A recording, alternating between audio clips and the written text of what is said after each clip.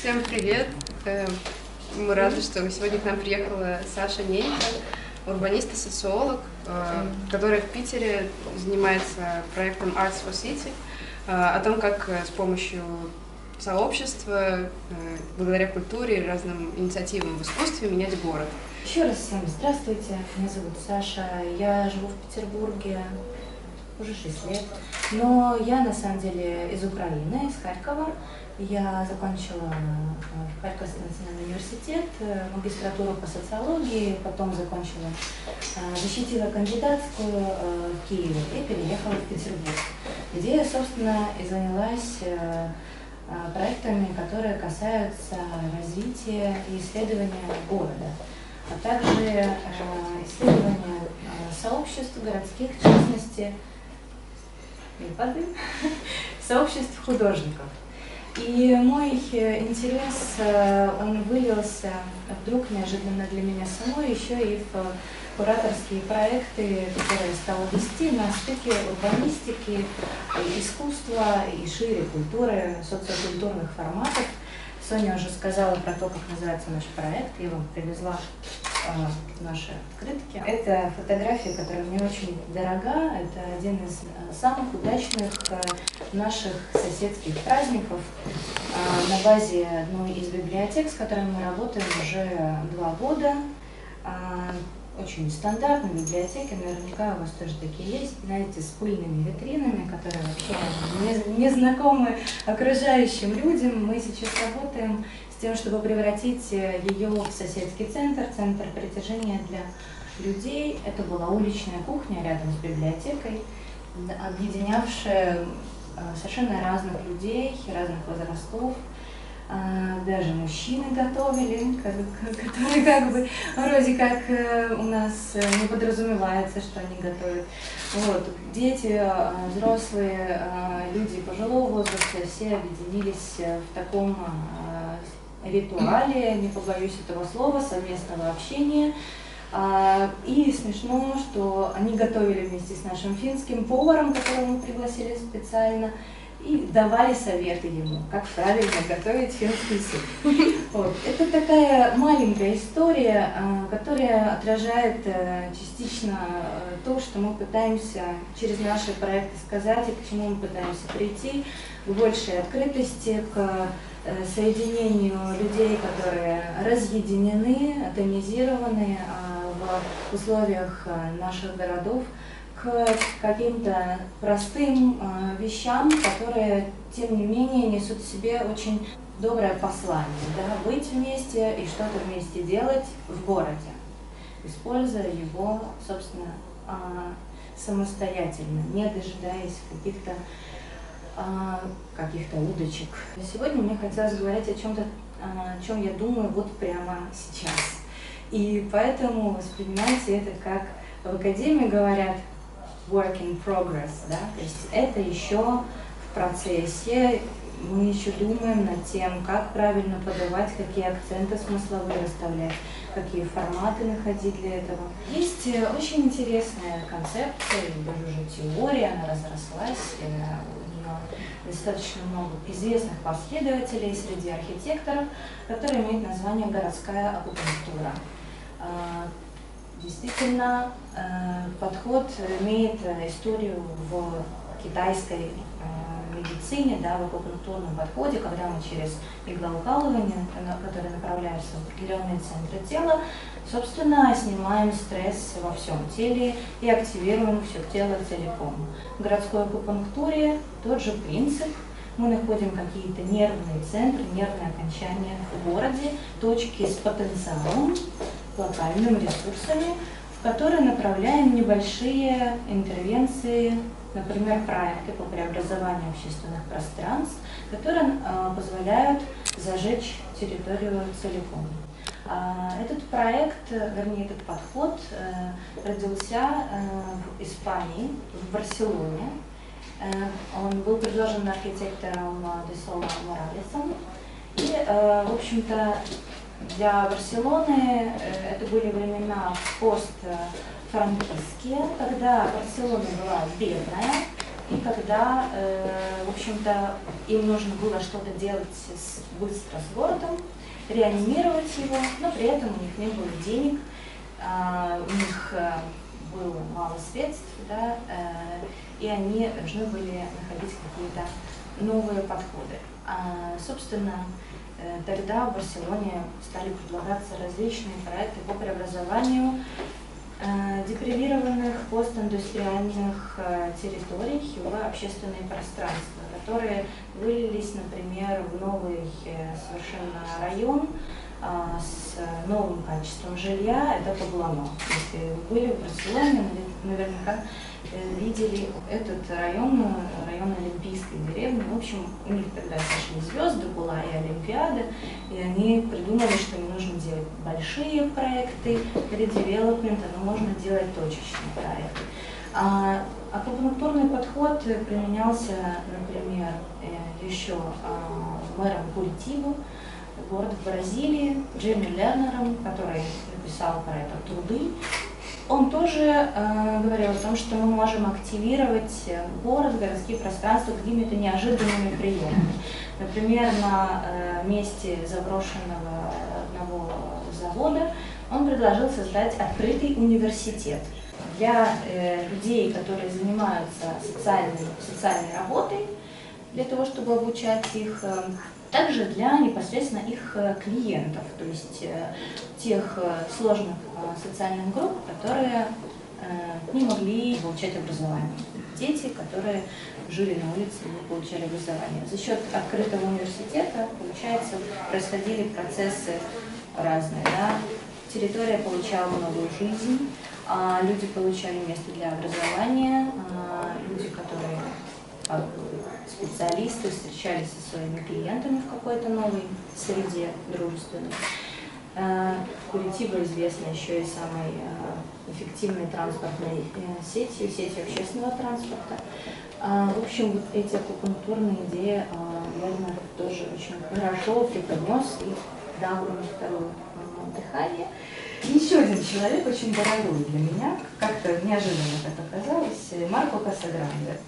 Э, хотя у него очень испанская фамилия, имя, он финский архитектор, он живет в Хельсинки, работает в университете Алта, и сейчас э, очень э, часто и много работает в Тайпэе. В этой презентации много всяких симпатичных цитат.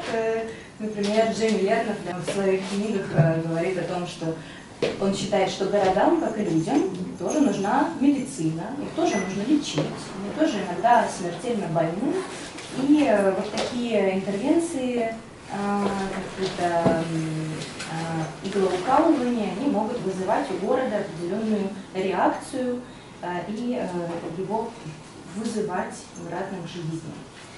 Чем хороша акупунктура и как можно ее, скажем так, продвигать сложным людям, как городские управленцы, а также девелоперы – это то, что городская акупунктура, в общем-то, э, является подходом, позволяющим минимизировать издержки.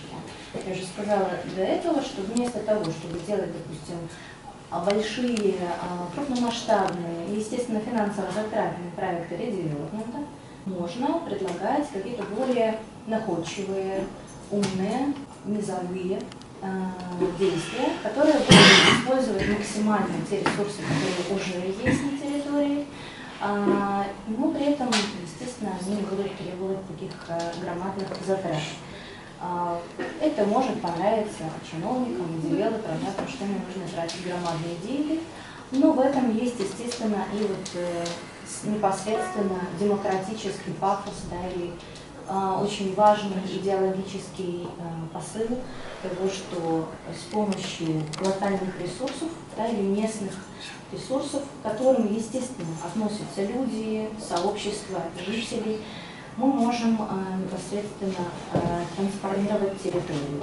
То есть сами люди могут участвовать в процессах ревитализации.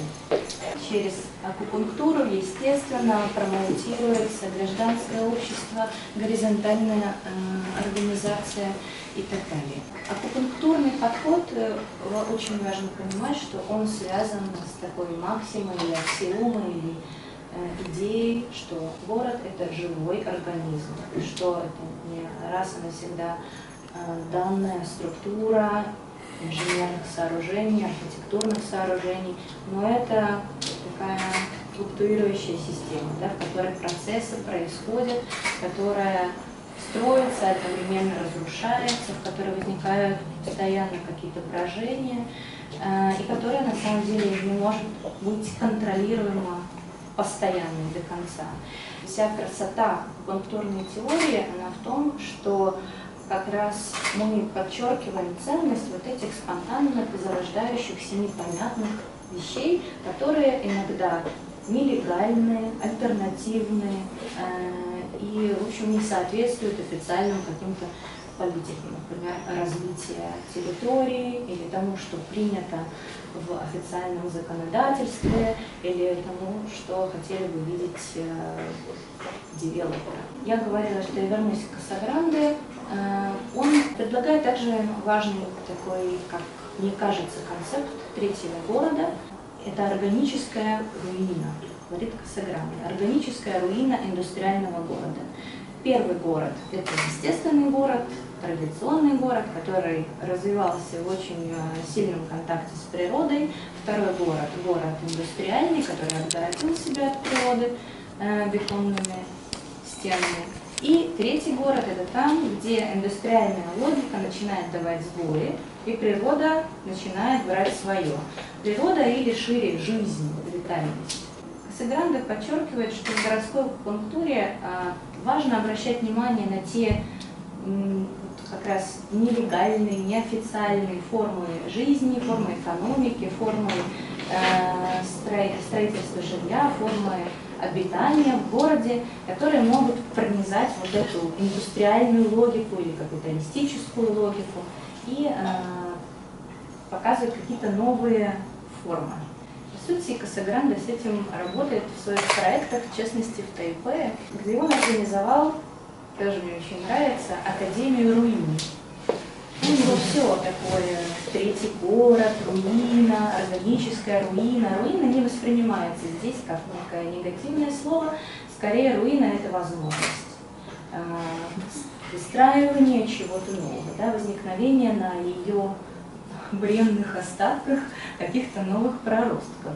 А, Академия а, руин, она ну, это скорее метафорическое такое название для коллектива людей, э, существующих между Хельсинки, Тайпеем и еще каким-то городом, а, архитекторы и студенты, которые объединились для того, чтобы развивать эту интересную а, теорию, а, связанную с акупунктурой, с руиной. Но также у них есть и физическая территория. Догацкетч, да, это домик, это настоящее здание, собственно говоря, заброшка. Заброшенное здание, уже, которое стояло где-то в Тайпе, отжившее свою функцию, а, которую э, э, Касагранды вместе со студентами стали обживать. Я потом покажу несколько фотографий, буду говорить, что это вот из Академии Руин. Да, но основной посыл э, в том, чтобы не просто там, допустим, делать какие-то работы искусства, но они там физически стали жить. Да? При этом они, э, благо Тайпэй, тепло, сохранили в здании все разрушенные компоненты, все дыры, да, сквозь которые стал проходить свет и вода. И как бы свое существование стали сообразовывать вот с этой логикой природы. Немного о Академии Руин, она образована была в 2010 году, и э, Марко пишет о том, что наша Академия, она исследует в Тайпе ростки локального знания. Локальное знание – это вот сейчас можно обратить внимание на эту картинку очень плохого качества, я надеюсь, что тут различимо. Вот это дом, да, это террасные такие дома. Здесь э, а, земля, и здесь вот э, жительница этого дома выращивает огород. Причем это Тайбэй. Это город очень большой, как вы понимаете. Перед нами пример городского огородничества. А, этот проект э, родился, собственно, из деятельности а, Касагранды и вот непосредственно его круга. До этого было местечко в Тайпе под названием Treasure Hill, холм сокровищ, местечко нелегального жилья, то есть фавелы на тайпейский манер. Это жилье было когда-то обустроено в Тайване беднотой. И тогда им разрешили жить, то есть не обратили внимания, скажем так, закрыли глаза. Но э, несколько лет назад э, правительство Тайпэя, э, которое сейчас очень бурно, между прочим, развивает всякие проекты, связанные с общественными пространствами и городской средой, они решили снести к чертям весь этот Treasure Hill, потому что там не оборудована абсолютно инфраструктура, там нет никаких коммуникаций, э, люди живут ну, как в землянках, да, только у них такие бетонные какие-то сооружения, ходят с водой, с ведрами, да, вот представьте себе какой-нибудь очень большой город, если кто-то не был в Тайпе, ну, Москва, например, да, там с ведрами ходят э, с водой. А плюс э, правительство очень забеспокоило то, что э, молодежь, которая там когда-то была, она вся, естественно, выехала, и в Treasure Hill остались только э, люди жилого возраста, которые же, конечно, не могли никак таскать воду. А, и решение было принято однозначное снести, ну и переселить. А Касагранде, э, в общем, стал развивать другой проект. Он сказал, давайте все-таки попробуем здесь э, сохранить место. Почему? Потому что здесь есть сообщество, здесь есть история, очень необычная. И здесь есть э, потенциал для того, чтобы мы как раз показали, как можно в городе жить вместе с природой. Потому что в Treasure Hill э, он увидел, уже были зачатки так называемого городского огородничества. Э, Причем не маленькие полисаднички, а такие большие какие-то там были уже не очень ухоженные огороды. И сама, конечно, э, структура холма располагала к созданию террас. В общем, все в итоге э, вышло так, что Касагранде со студентами, естественно, с сообществом Treasure Hill, они сначала провели партисипаторные воркшопы, да, то есть пригласили людей для обсуждения э, будущего этого холма. В итоге они все-таки решили побороться за свою идентичность и э, предложить вот такой формат существования на стыке города и природы. Э, разбили террасы, почистили огороды, и сейчас э, там, в общем, такой интересный э, прецедент обитания. Понятное дело, что этот кейс, как и многие другие, у него есть свои риски. Уже сейчас это место стало очень привлекательным для туристов, которые туда ходят толпами и, естественно, нарушают атмосферу местечка. Ну, эти риски джентрификации, естественно, нам вот с вами, да, со всеми людьми, которые пытаются делать что-то для города, все время нужно держать в голове. А, и а, для Касагранды, в принципе, Тайпей э, как полигон э, очень был и является интересным. А, он говорит о том, что в Тайпее как раз можно говорить о биоурбанизме, о том, что мы не просто строим постройки, не просто совершенствуем транспорт, но мы пытаемся впустить природу обратно в город. Там э, есть э, река, я забыла ее название, которая как раз отгородили бетонными конструкциями от города. Э, проект Касагранде вернуть реку обратно, как бы устроить ее в жизнь э, города. Э, также на примере Тайпы э, Касагранде говорит о городских намадах, или кочевниках, э, людях, э, которые, вот как эти жители Treasure Hill, они по-своему приспосабливаются к сложной э, среде Тайпея и очень часто формируют какие-то интересные формы вот, полулегальные, да, полулегальные экономики, полулегальные обиталища что интересно само по себе, как форма какого-то нового существования, вне логики, заданной государством. Много нелегальной архитектуры, про личный урбанизм я сказала, ультраруина, тоже метафора такая довольно хорошая, интересная, которая как раз говорит о том, что на руинах можно создавать новые э, вещи.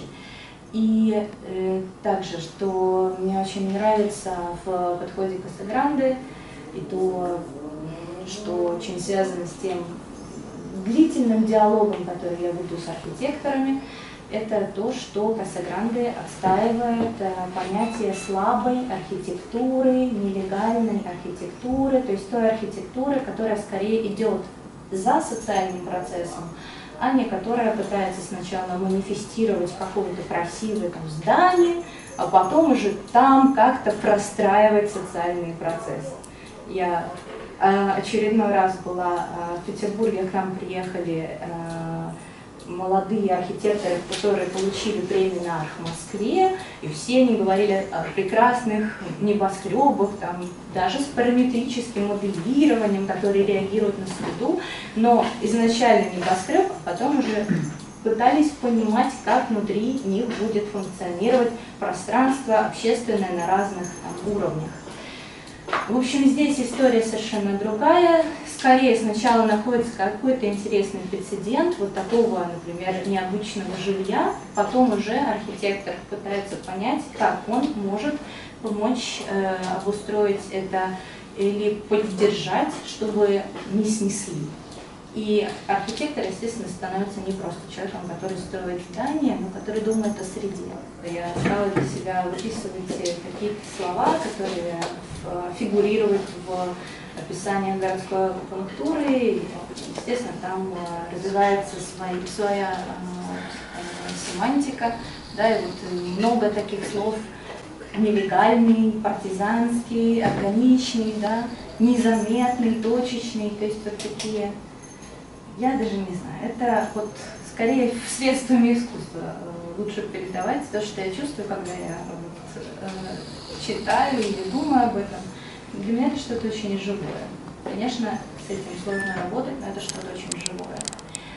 Вот вдохновившись этим всем, э, так как я работаю с культурными проектами, социокультурными проектами, э, я решила подумать о такой идее, как культурная аквакультура.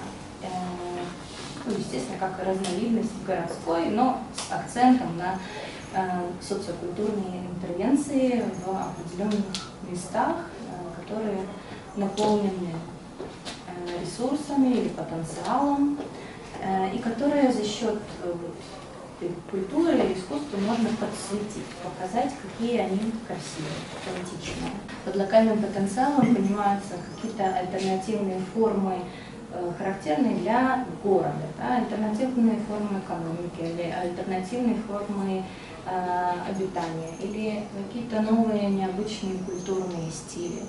И вот я говорила про локальные знания, э, которые ищет Академию УИ, они как раз ищут те представления о выживании в городе, в сложном городе, которые тайпейцы э, показывают, да, демонстрируют. И еще можно говорить о том, что потенциал – это что-то вот живое, что, где вы чувствуете, что город еще не застыл, а где он движется. В общем, у Касагранды это тоже очень э, все с одной стороны архитектурно, теоретично, но, естественно, эзотерика там тоже а, как-то проникла в его мышление, и Тайпей, наверное, на него так повлиял, он говорит о энергии чи, энергии жизни, которая где-то в городе, в пространстве города а, локализована. Культурные интервенции, которые а, могут быть в составе вот как раз акупунктурного подхода, они, естественно, тоже а, следуют определенным принципам, они должны быть э, контекстуальны, э, они не должны быть большими, они могут быть, ну, скорее будут временными, партизанские и так далее. А в Петербурге, я думаю, как и во многих других городах России, а, есть очень серьезная проблема, постиндустриальная судьба индустриальных территорий. Да, индустриальные территории, которые вышли уже из использования э, и э, которые, собственно, представляют собой, они поймут что. Все как бы говорят очень много про них, но непонятно, что это такое. Может быть, это все руины, да? Может быть, это пласты истории, которые мы вот-вот с вами потеряем, потому что эти здания разрушаются. Может быть, это наоборот какая-то такая среда как раз для проявления вот этих необычных форм.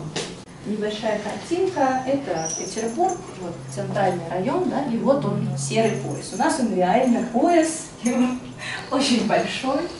И по сути эти серые зоны это вот наш Ленинград, да, то есть советские период э, советской индустриализации, период э, советской мощи, который сейчас бы, стух и, э, в общем, процентов 90-80 по разным подсчетам это территории, которые ну, экономически уже никакой функции не несут и в основном стоят либо заброшенные, и там ничего не происходит, либо там происходят какие-то интересные вещи, о которых я сейчас расскажу. Естественно, неоднократно поднимался вопрос о том, а что же с ними делать. Неоднократно были конкурсы городские на концепции ревитализации серого пояса. Ну, в общем-то, они все остаются на полке. Недавно, в прошлом году, снова был у нас конкурс. Вот здесь большие были наделы, зоны, которые предлагали архитекторам продумать, э, как их обустроить, очень э, многие сделали качественные работы, в частности, э, мои друзья, группа «Новый плюс», которая работала с этой зоной в середине. Ну, естественно, наш комитет по градостроительству и архитектуре, они проводят эти конкурсы так на широкую ногу, но там, зовут очень много людей, естественно, все радуются и надеются на какое-то дальнейшее развитие событий, но никакого дальнейшего развития событий не происходит. И, как вы понимаете, здесь у нас нет стадиона, это немножко другая ситуация, а, поэтому здесь все очень сложно с а, какими-то драйверами для развития. А, естественно, территории большие, в некоторых сохранились замечательные комплексы, многие из которых имеют статус э, архитектурного памятника. Но для девелоперов э, особенно статус архитектурного памятника да, отпугивает, потому что тогда нужно полностью реновировать здание. Ну и в принципе такого еще внимания к серому поясу нет, потому что не только из-за отсутствия ресурсов, но и потому что это все еще серое пятно. Все знают центр Петербурга, и, естественно, на окраинах мы расширяемся, мы расползаемся, имею в виду Петербург, да, у нас строят новое жилье с ужасного качества, но э, пока еще вот эта территория, она как э, не, не отражена в интересах. Естественно, возникает вопрос, а что же все-таки можно делать, чтобы э, работать с историей, э, сохранить какую-то все-таки своеобразную прелесть, которая есть в этих местах, э, потому что там действительно во многих э, местах очень атмосферно. Они напоминают такие постапокалиптические фильмы, в которых э, происходят какие-то, не знаю, чудеса, темные силы, роятся и так далее.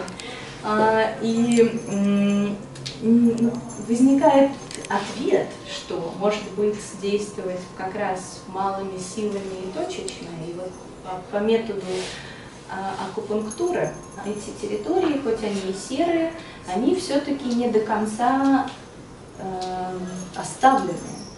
Потому что вот это две фотографии из одного и того же, из одной и той же фабрики, красный треугольник. Конечно, много заброшенного, пустого, да, вот один этаж слева, абсолютно там ничего нет. А, но с другой стороны, место интенсивно обживается, вы видите эту кучу реклам, это, естественно, маленькие бизнесы, которые там начинают очень так стахастически как-то спонтанно появляться, они очень разные. Э, это как э, шиномонтажка, и там бетонный заводик маленький, так и репетиционные точки, э, фотостудии, дизайн-студии, то есть какие-то вот зачатки креативного класса, да, которые как бы вроде как должен развивать территорию в направлении креативного кластера. Треугольник громадная территория, там 80 зданий примерно, и одно из них более-менее хорошо сохранилось. Э, его выкупили бизнеса, которые устроили там бизнес-центр. Но он, этот бизнес-центр, несмотря на то, что здание представляет собой памятник э, архитектуры, это директорский корпус, там сохранились интересные элементы внутреннего убранства, туда совершенно невозможно попасть с улицы, да? потому что это все частная территория. И э, мы в процессе исследования стали задаваться вопросом, есть ли э, в сером поясе, в нашем любимом красном треугольнике и так далее, э, какие-то потенциалы, да, про которые мы могли бы э, говорить это важно, и это имеет э, смысл показывать и сохранять. Нам было интересно, есть ли какие-то такие формы гибридные, да, когда мы видим остатки архитектуры, но они стали уже завоевываться природой. Да, это то, что э, лежит в основе концепции третьего города. Есть ли какие-то примеры, когда старая инфраструктура начинает по-новому осваиваться людьми? Есть ли какие-то новые формы обитания, новые культурные стили? И мы действительно стали, собственно, бродить по этим территориям. Э, в Красном треугольнике мы работаем уже два года, по другим стали ходить недавно, такие прогулки. Даже не, не знаю, как сказать. Это не экскурсии, это, это не просто праздное шатание, а это такие урбанистические прогулки с обращение внимания на то, что есть на территории, какие там есть странности, необычные вещи, что там сохранилось, что там начало появляться нового. И э, на самом деле находятся совершенно удивительные вещи, э, которые действительно можно отнести к потенциалу, с которым можно работать культурными средствами. Например, мы находим э, очень красивые такие недострои. Это недострой, например, станции железнодорожной, в которые пришла природа, да, и которые, например, очень поэтично заросли, э, и тут вода, естественно, здесь уже не проедет поезд, но это такая, э, здесь сразу появляется ассоциация, что это городская ферма, или это какое-то пространство, которым можно, например, сделать э, очень тонкие инсталляции воздушные. Просто подчеркнуть вот эту, эту поэтику, я, я бы сказала так. Потому что, конечно, с функциональной точки зрения здесь сложно о чем-то говорить. А вот с поэтической точки зрения, с исторической, с культурной, конечно, э, здесь очень э, много смыслов.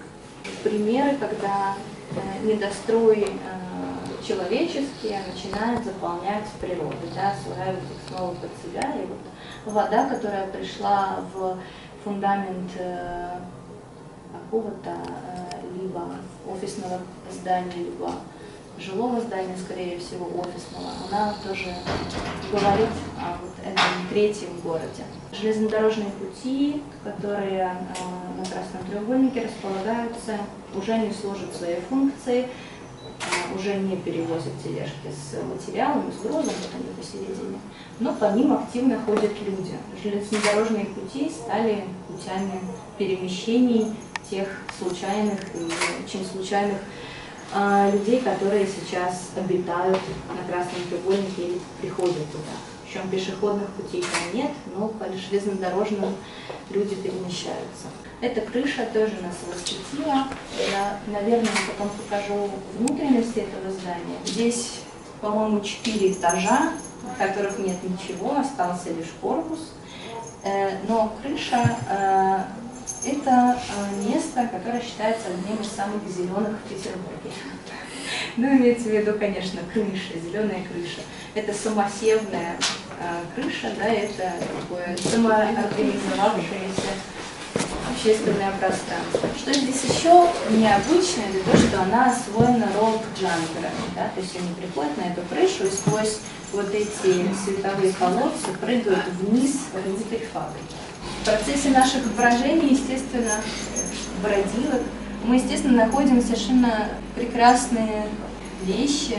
Да, гараж сначала я подумала. Потом я увидела здесь букву «Д». Га, гдыжн, В общем, я не смогла прочесть это слово. Багаж. Все. Мы его разгадали. В общем, это вагончик. Он не возит людей, а он стоит как домик для э, работников. Когда встречаешь такие маленькие поселения, что ли, ощущение, что они Богом забыты, и вообще непонятно, что они находятся в Петербурге. Что это реально какая-то зона в Сталкере. Потому что непонятно вообще, знают ли люди про их существование, не знают, как они там живут.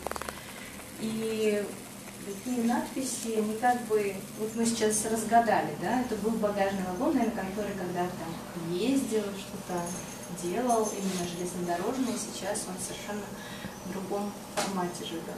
Здание, на верху которого крыша, да, с ролл-джамперами, оно внутри выглядит вот так, с очень красивым светом, который падает сквозь здание, и вот эти фермы или конструкции, которые, собственно, должны поддерживать здание, да, и э, никаким другим целям никогда не служили, по ним э, экстремалы, подростки э, забираются наверх, э, спускаются вниз, я уж не знаю, как они это делают, мне очень было страшно, я, я никогда не смогла это сделать. И вот такая субкультурная жизнь, да, и, естественно, граффити, эм, они в этих заброшенных зданиях э, процветают и говорят нам о какой-то совершенно другой жизни. Это красный треугольник, здесь э, очень много музыкантов, и э, они действительно завоевали большую, большую, не большую, большую часть пространства. Можно сказать, что по сути это какой-то такой стиль, культурный стиль или социальная группа, которая получила для себя пристанище. Понятное дело, что музыканты, да, им сложно репетировать в городе.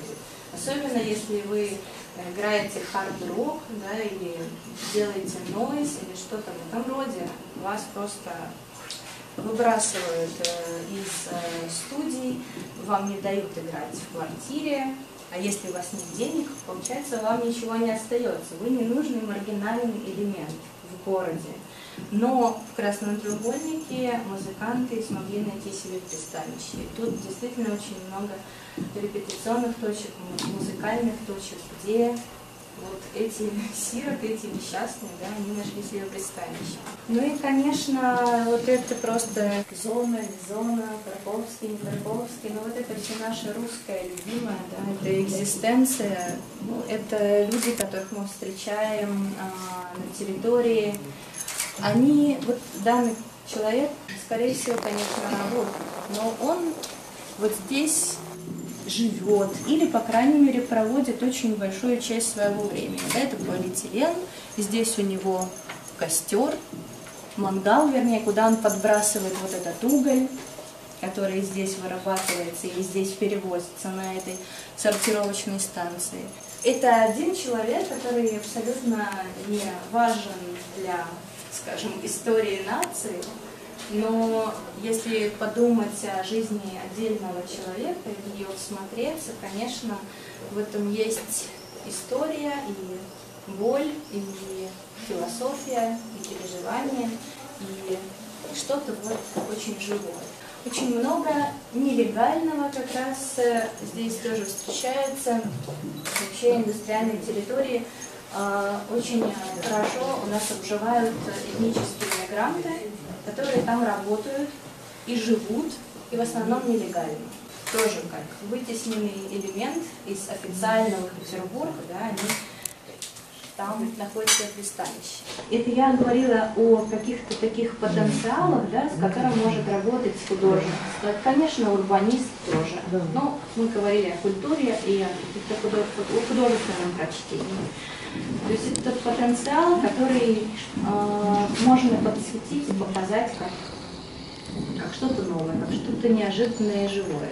Естественно, э, территории дают нам и много материалов. Да? То есть то, что мы в принципе можем чисто физически даже использовать для э, культурных проектов, например, вот эти абсолютно отжившие себя балки или даже какие-то необычные артефакты, да, то есть что-то созданное людьми, что-то забытое, которое тоже уже освоилась природой, заржавела. Я хотела очень быстро пробежаться по тому, как мы, в принципе, работали с этими территориями. То, что я показывала, это уже, конечно же, э, такие э, следы нашей, нашего погружения и э, осваивания индустриального пояса.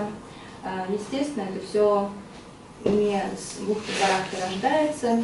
Для эффективной работы с пространством нужно предварительно э, хорошее э, исследование и работа с различными аспектами среды, э, чтобы э, интервенции были действительно контекстуальными и направленными на потенциал локации.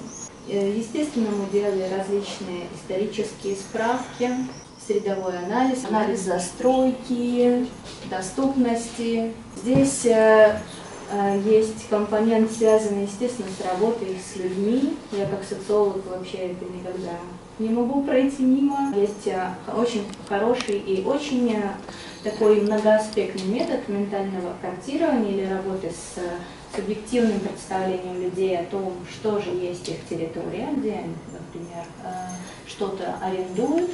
И э, это как раз карты наших э, резидентов. В основном они вот такие простые, то есть фактически стрелочками человек показывает свой путь из пункта А в пункт Б, и никаких э, деталей пространства нет, если очень простая ментальная карта, это значит, что образ территории не сформирован.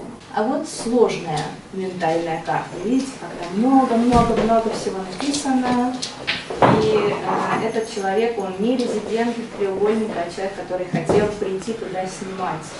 Поэтому он искал, он смотрел, он думал. На сравнении, конечно же, ментальные карты очень многое показывают. Кто вообще что-то делает на территории, знает ее, кто там только как прохожий. Ментальные карты могут делать и исследователи, чем мы тоже занимались, да, мы тоже люди. Поэтому э, мы формировали свои, но вот видите, они, конечно, гораздо посложнее, потому что глаз урбаниста сразу видит какие-то районы, скопления точек, пути. Очень важный для нас компонент работы – это устные истории, а, это а, работа с людьми, которые связаны с пространством. В устных историях вы можете, собственно, видеть, как связывается история человека и история пространства. И э, для нас это тоже нарратив, из которого можно потом брать элементы для художественных произведений. Объекты памяти или артефакты, я уже упоминала на одном из слайдов, то, что для территории очень характерно, то, что можно откопать, найти, или то, что там уже есть, э, и оно характерно только для этой территории. Передает ее уникальность и, конечно, память. Визуальное картирование сложный способ, он можно делать тысячи э, методами. Ну вот, собственно, э, наш подход это когда мы выбираем определенные коды, например, архитектурный, какой-то спонтанный э, стрит-арт, паблик-арт и э, реклама, например, которая отражает информационный код территории, и наносим их на карту. Например, вот эта интересная линия, видите, она вся голубая, голубой у нас код искусства. Это все линия железнодорожная, вдоль которой расположился э, стрит-арт на стенах, стрит-арт и граффити.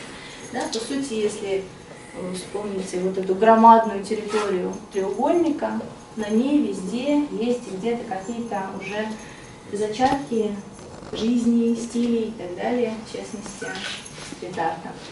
Еще одна история, которую мы э, будем применять, и она очень хорошо ложится на тему акупунктуры, это анализ э, спонтанных данных, тех данных, которые формируют люди и э, вывешивают их в интернет. Например, вы сделали фотографию в Инстаграме и сделали привязку к пространству, фотография ушла в интернет, да, и вот это богатство данных, которые генерируют очень многие пользователи, его можно выловить и, естественно, показать. Например, что какие-то территории, а это у нас индустриальные территории вообще, не посещаются людьми, там нет никакой активности социальной. А треугольник, например, который у нас здесь, красный треугольник, в нем что-то есть. Да? То есть место горит на карте, вместе есть уже какая-то активность, какой-то потенциал. Это еще один способ убирать те места, которые важны для акупунктуры. Очень быстро, на самом деле, я уже говорила, просто покажу вам красивые картинки, которые меня э, очень вдохновляют. И просто на уровне метафор, давайте так это оставим. Э, среди мы видим пограничность, угу. маргинальность, угу. аутентичность, угу. Переходность, хрупкость. Это колючая проволока. Угу. Миметичность, странности, угу. случайности, следы, раскрашенная доска. Ну и форматы, это уже ближе к арт-интервенциям подходя, какие могут быть в таких пространствах, которые могут насытить их новыми смыслами. Это было как раз в Академии Руин у Марко Касагранде, перформанс, ритуал. Вот они готовят шашлыки или что-то в этом роде. Видите, они действительно обитают в этом пространстве. Партизанский огород, э, различные формы лендарта. Это уже наша э, работа в красном треугольнике, городская игра, такая бродилка. У нас была миссия триангуляции на треугольнике, нужно было найти различные компоненты. Еще одна э, история, которую мы тоже делали в другом индустриальном месте, был маскарад, и тоже бродилка по территории, видите, путешествие за собственной душой. Но, естественно, прогулки, про которые я уже сказала, что они позволяют проникать в поэтический контекст. Я хотела бы попробовать для э, пустыря на стрелке подумать о том, какие там могут быть локальные материалы, локальные потенциалы и какие интервенции можно для этих территорий э, сделать. Вы видите то, что я знаю, а я знаю очень плохо, я здесь первый раз, я знаю о том, что это место, это явно какая-то притяжение, внимание горожан, да, потому что здесь э, будет чемпионат. При этом это зона конфликта, потому что есть различные противостояния. Это точно место истории. Э, при этом, вот, по крайней мере, пустырь – это пустое место, в котором ничего не происходит, это отчужденная территория. Мы вот как раз хотели а, с вами, вам предложить э, э, перед интервенциями поработать тоже вот в такой э, режиме ментальных карт своеобразных. И набросать те слова, которые связаны с пустырем или со стрелкой. Мы думали о том, что мы можем заложить вот в эти наши интервенции с песком, с камнями, с телами, какие-то те ассоциации, которые для вас важны, нас будет одна маленькая ну вот, река, она, в общем-то, тут и по массе заняла больше места, и это такое одно из основных телесных впечатлений от стрелки, это ее масштабность, ее протяжение, как она проявляется.